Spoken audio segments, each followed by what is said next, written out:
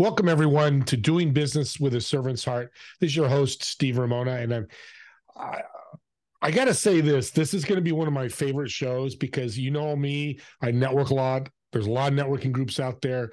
I tell people how to, you know, help people how to network. But this guy's the true expert. I've learned a lot from him in just one meeting. I'm going to learn a lot today about how to network, how to network properly, but how to make those connections really last and not mm. just from a financial standpoint, but from a relationship standpoint. Justin, welcome to the show. Yeah, it's great. Um, great to be here. This will be a very collaborative conversation. I love that. Collaboration is so important. And let's start with the question I asked you in the green room before is there's so many networks out there. Why BrEpic Network and why would you do it? Start it.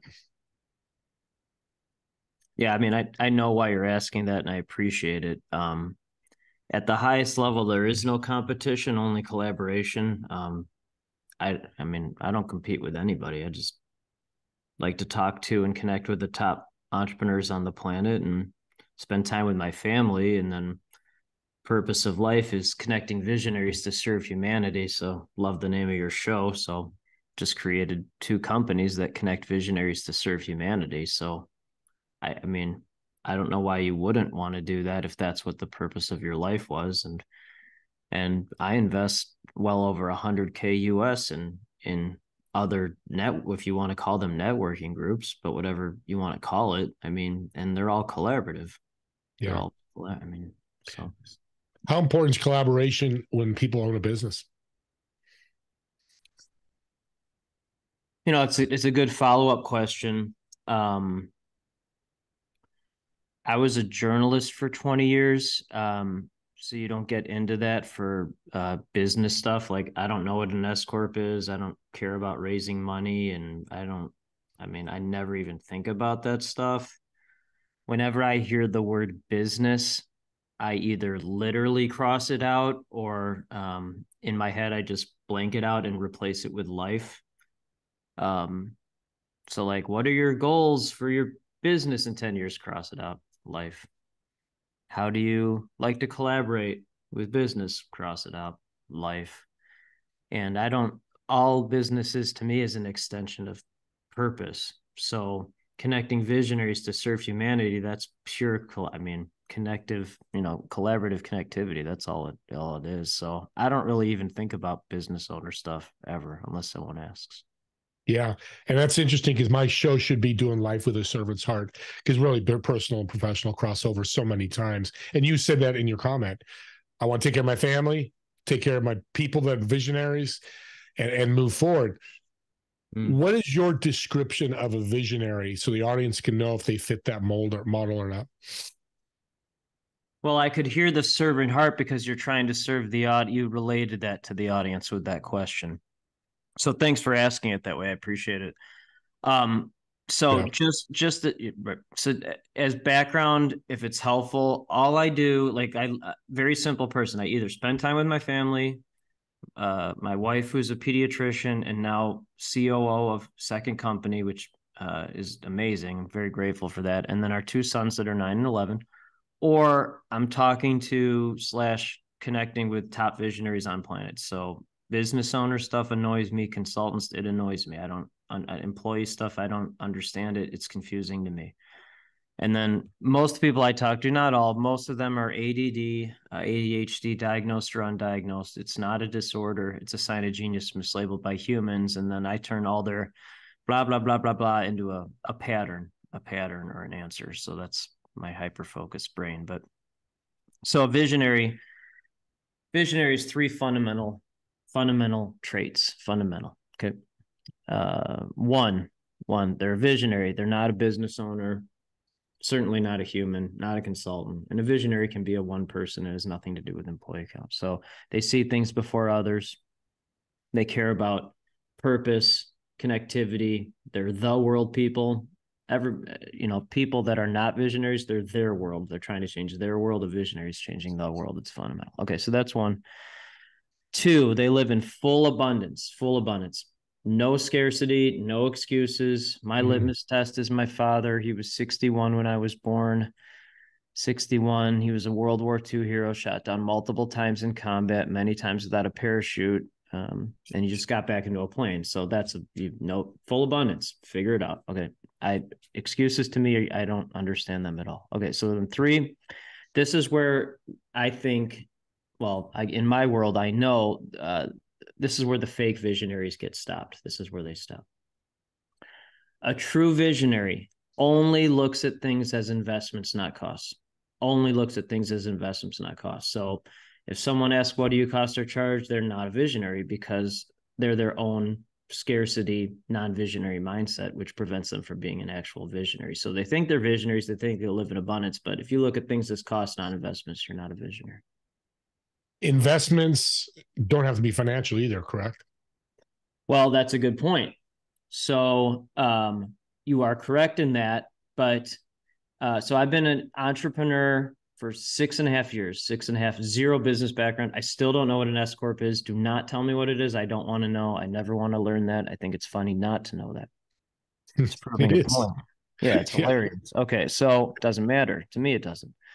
So we've partnered with multiple billionaires, multiple gajillionaires, multiple millionaires, multiple, you know, and then I think 10 folks, 10 folks that have been dirt broke, pure figure it out, make the investment.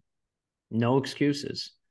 So it absolutely does have to do with financial um, because money is energy. That's my favorite description of money. That's from Dr. Peter Diamandis, who wrote Foreword for Epic Life. I'm very grateful for that. But that's that's what it is. And if you cannot, one, if you don't have your own energy, or if you don't find a way to get that, then you're not a visionary. You're not.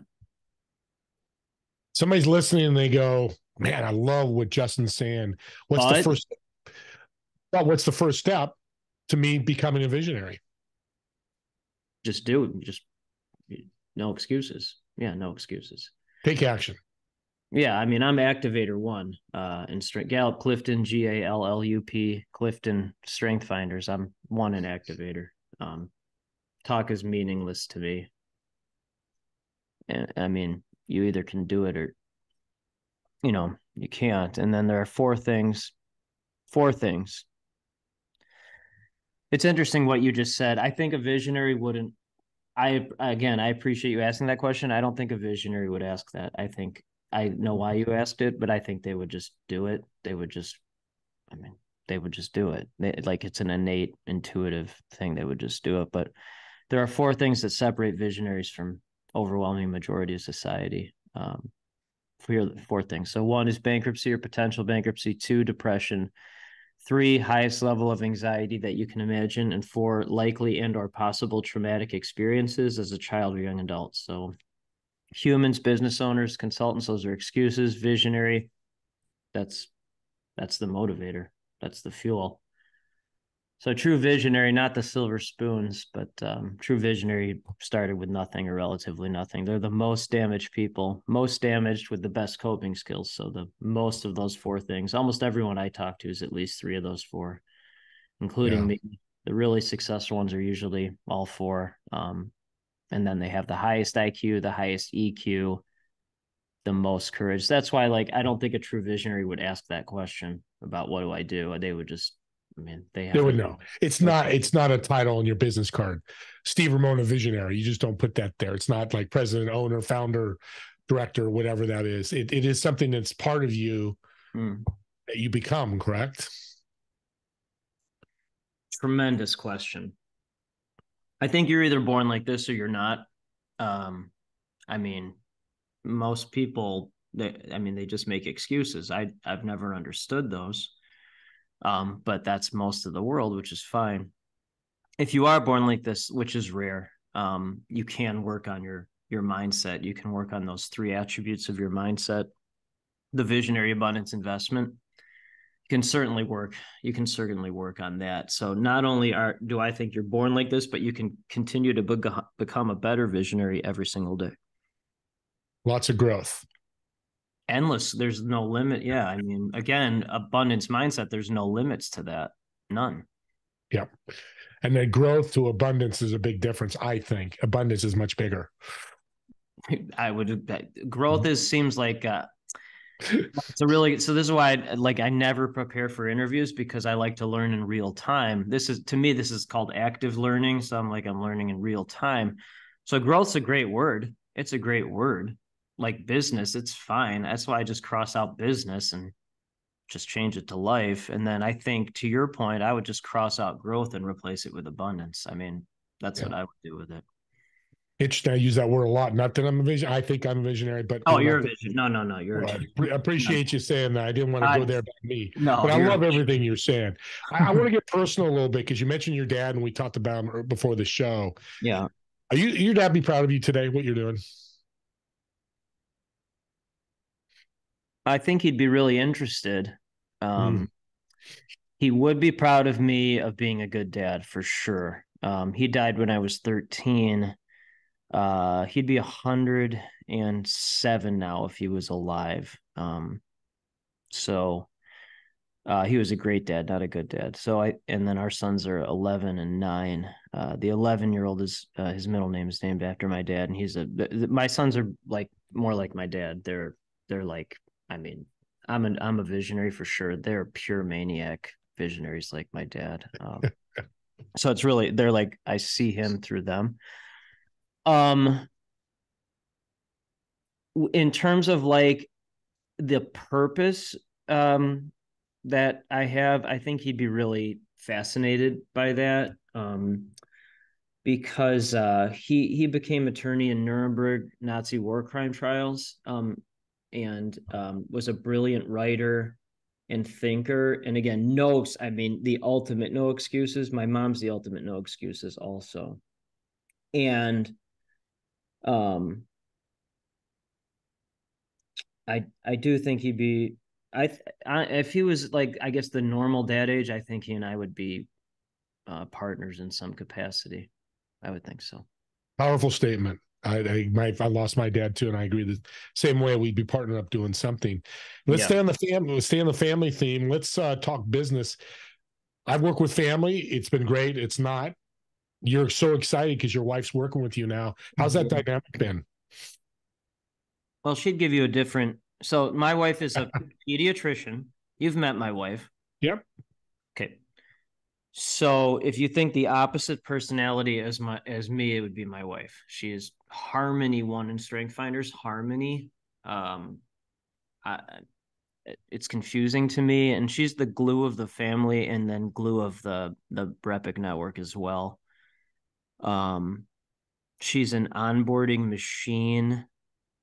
Um, I mean, you know, like we're about to be named one of top five masterminds on planet, and she, you know, she's in terms of a revenue aspect, which I don't really care about, but she's, you know, it, it shows her, you know, it shows it it it trumpets her, which I'm like she's onboarded more than 300k in new members and you know barely a quarter of being she's she has no business background.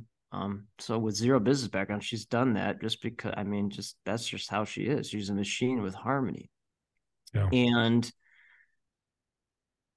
um i never thought she would phase out of pediatrics to do this but she's hung out with people like us long enough that she wants to become someone like us. And the main reason why she's doing it, besides getting to see the kids more and more time at home, but the main reason is she just loves talking to people like us all day. She loves it.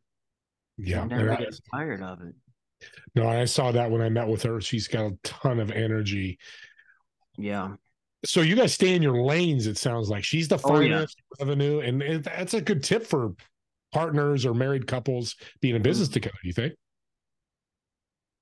Well, there's a couple things from that. It's a it's a great question. Um, so again, all I do is talk to people like us and simplify into patterns. Um, I that's just how the brain works, and hopefully it provides some benefits to that. I think it does, but hopefully yep. it does here. Um, so people like us, not always, not always, usually marry stabilizing humans. Usually, um, school teacher, nurse, social worker, pediatrician, engineer, lawyer, a, you know, a stabilizer. And she's brought that same stabilization into a company. Um, if you want to call it a COO or an integrator, a stabilizer, someone with I have pretty high follow through for a visionary, which is rare. Most visionaries don't. She has exceptionally high follow through. Um, and again, with harmony as her number one strength finder. So like the way I talk, um, um, it it's not for I mean, it's for the very small minority of society.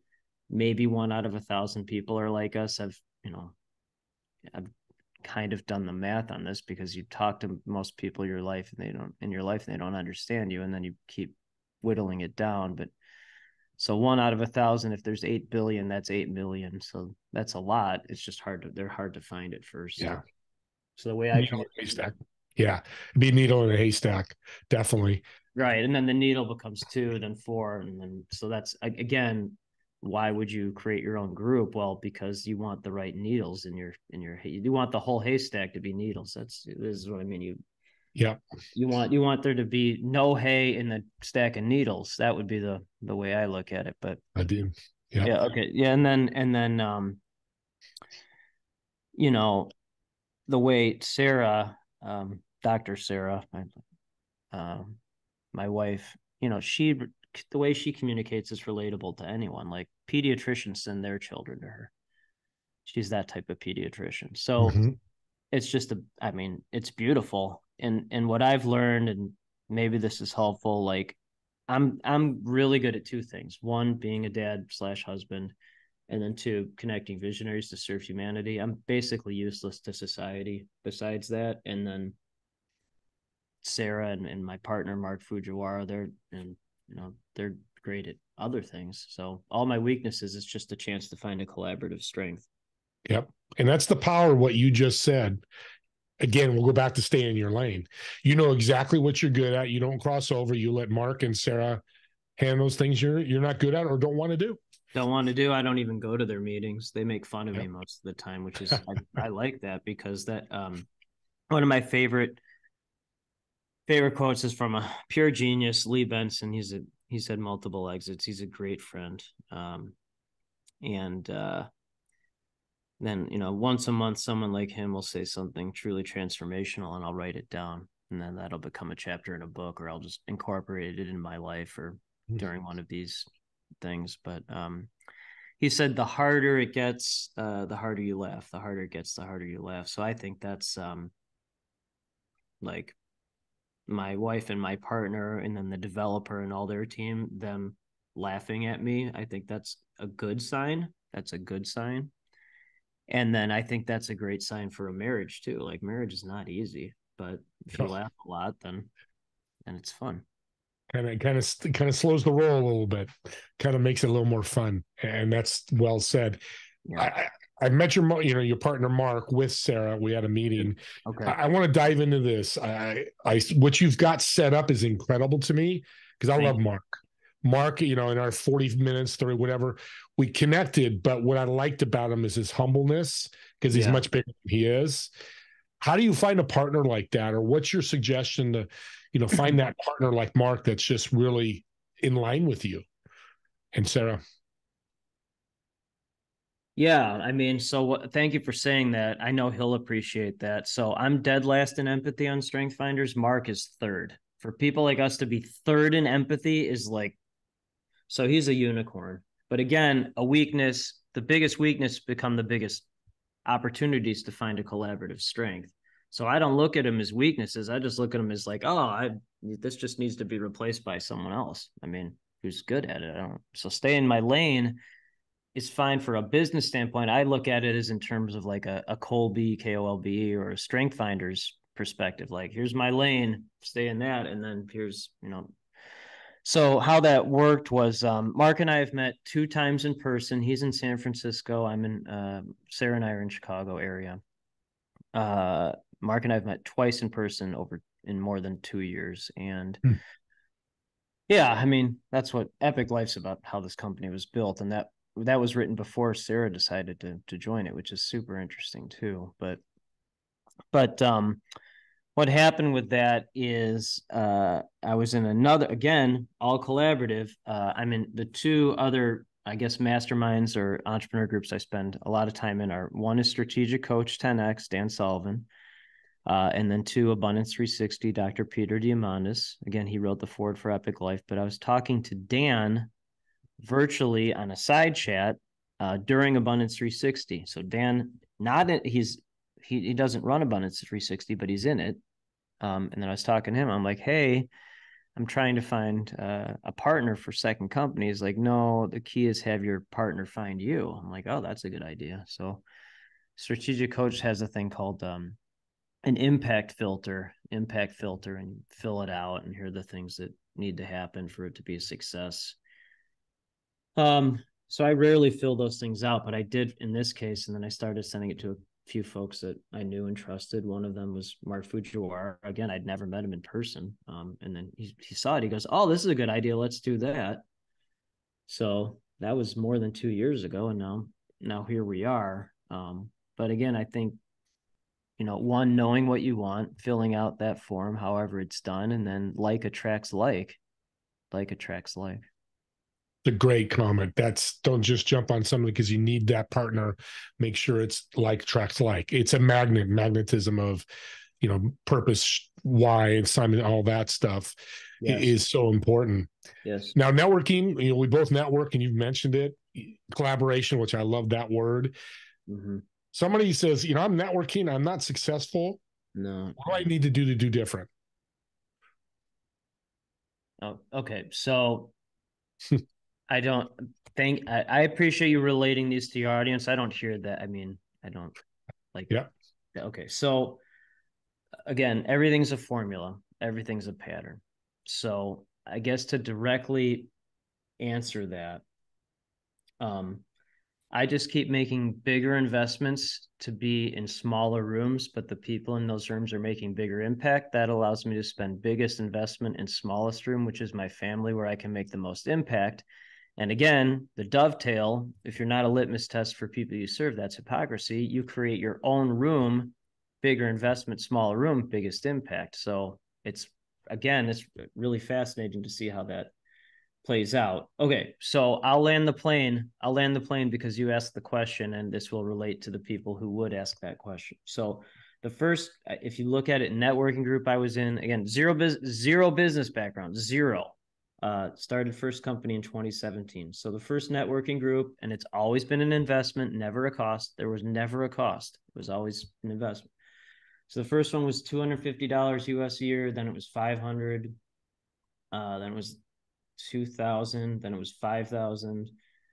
Uh, the first level of strategic coach was 10,000. That's when I finally started to find people who like kind of got it and then I could learn. And then there was, uh, uh, 25,000 and now I, I invest about 50k a year each in the in those two groups. But those are good investments. I mean, those are easy investments because bigger investment, smaller room, bigger impact. That's a great answer. Never heard that. I've asked this question probably 20 times. And I agree. I tell people go to a pool of people that are more successful. You'll they'll just leach into you if you if you're open to it. Don't be greedy, don't be ego come in with an open heart, open thought, and mm-hmm. collaborate with them, work with them, bring value to them. And I love that because a lot of people keep saying they just go to a bunch of networking events no, and go, no, no, no. Yeah, those are they do that shotgun approach. Business, those are human small business owner consultant. That's the, that's yeah. the, and then again, like here, here's why what you said is so powerful.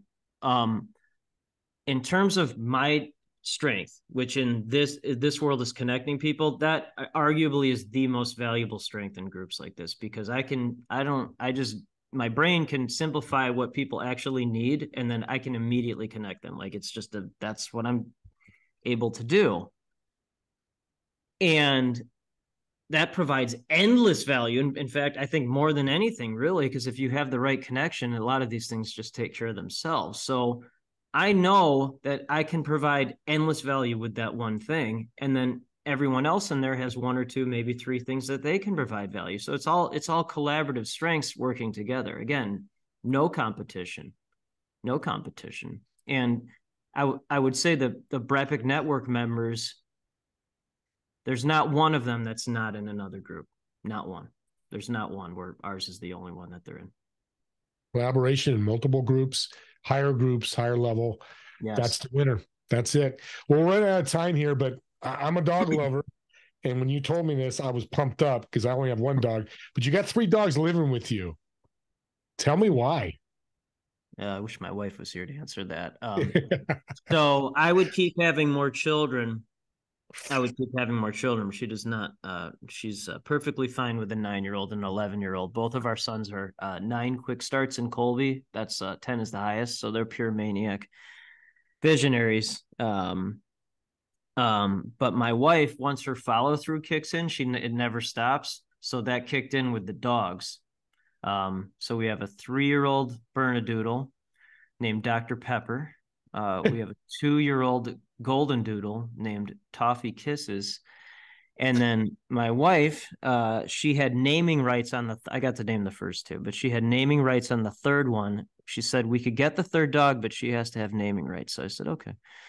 Yeah, and then uh, she has named the Newfie Poo. In case people don't know what a Newfie Poo is, that's a Newfoundland poodle. So this thing's going to be a monster. Yeah, yeah. We've had him two. He we got him when he was ten pounds.